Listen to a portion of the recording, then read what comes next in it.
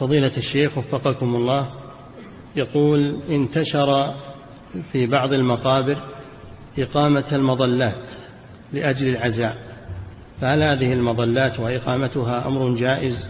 لا ما هو جائز وصادر فيه قرارات من هيئة كبار العلماء وفتاوى من الشيخ محمد بن إبراهيم مطبوعة. ولكن هؤلاء لا ينتهون. ولو أرادوا أن ينتهوا أتاهم من يحرضهم على هذا الشيء. الناس يسرعون إلى البدعة والعياذ بالله يسرعون إليها. لا يجوز هذا. العزاء أصله ما هو بلازم. العزاء أصله ما هو بلازم. كيف يبنى له بناء ويحط الكراسي ويحط نعم.